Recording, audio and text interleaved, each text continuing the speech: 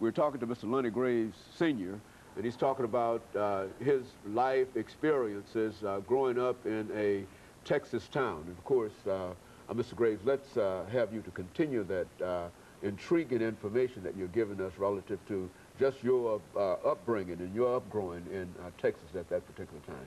Well, thank you.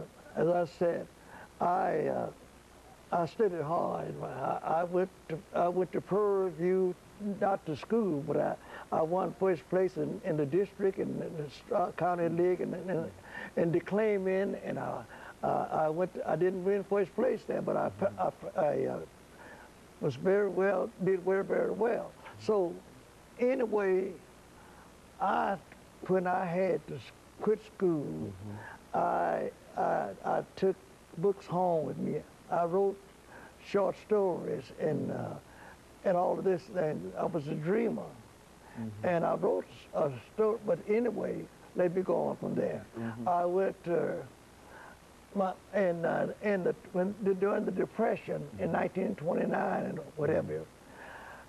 My father's brother passed away and to my surprise, mm -hmm. because my father did not have it, uh, interest, I mean, there was no papers on. Uh, mm -hmm. It was in his brother's name, mm -hmm. and so we had no part in the mm-hmm. farm.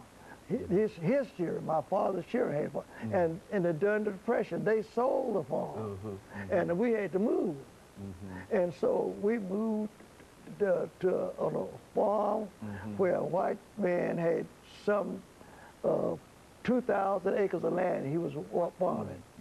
And I worked for that, started working for that man when I was about 18 years old, mm -hmm. and worked for him for 34 years. Mm -hmm. And during that 34 years, mm -hmm. uh, uh, while I was faithful to him and, and so forth, he, I was made finally a foreman mm. of that farm. That was 34 years.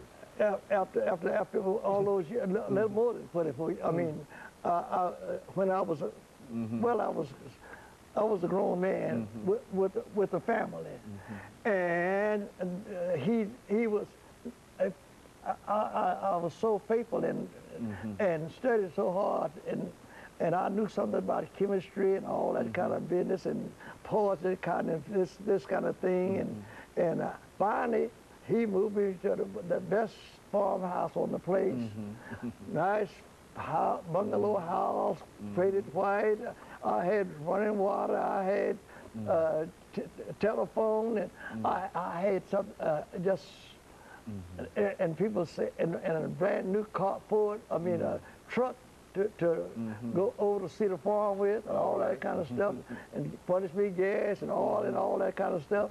and people said, uh, they said, oh, that boy got a white man's jaw. Oh, ain't that something? But uh-huh. but but this, it, this, it was. It really this, was. But the Lord blessed me to do this, yeah, uh-huh. and uh, I, I, had a family, started my family, and mm. my father had passed away. Mm-hmm. And I had to be responsible for burying him. Mm-hmm. In, in, in 1940, it was just things were hard, but mm-hmm. I, Lord blessed me to, to weather that thing. Mm-hmm. I, I, went through a lot, mm-hmm. but uh, I, I, I, stayed with what I was doing, and because of that, uh, I uh, my, my my daughter, I had three three boys and a girl, and and uh, uh, when my girl got old enough, uh, I took her to Waco every mm -hmm. Saturday to give her music, me piano lessons. Mm -hmm. And because I'd sit there and watch, watch, I learned I learned a lot about playing music mm -hmm. by take, taking lessons from the lady.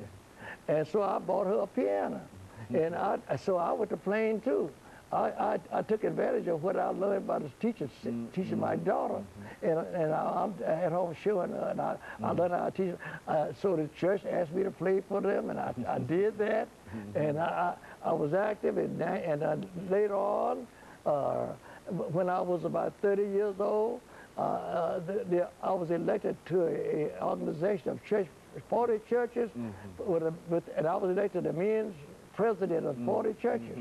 And because of that, I, I, was able to go to all over the state of Texas at, at annual meetings. And then I was elected because of my skills in writing and everything.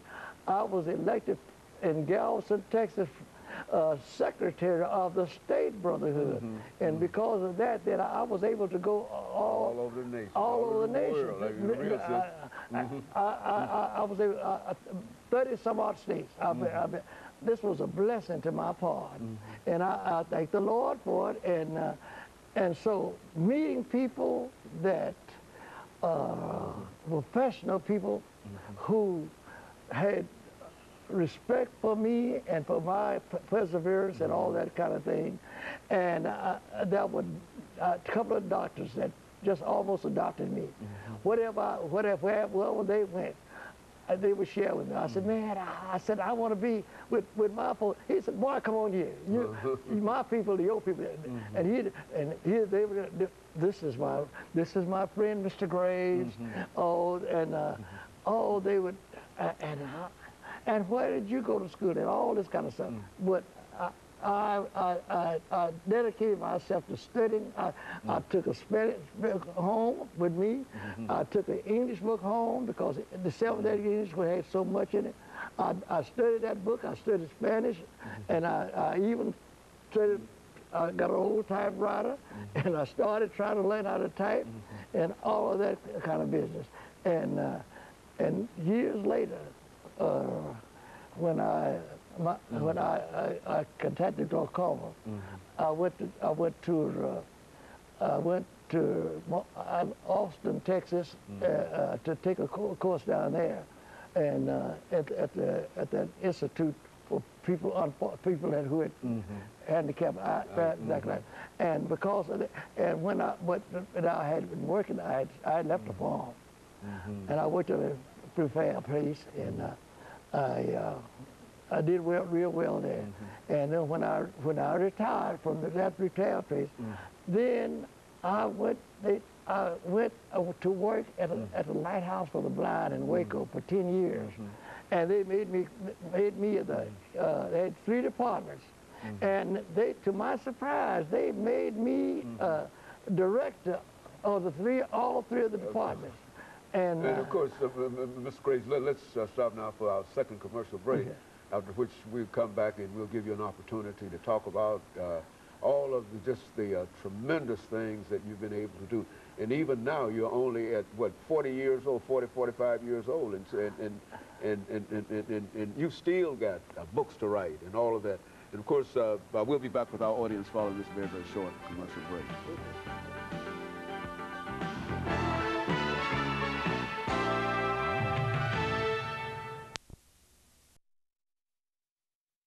Today, we're talking to Mr.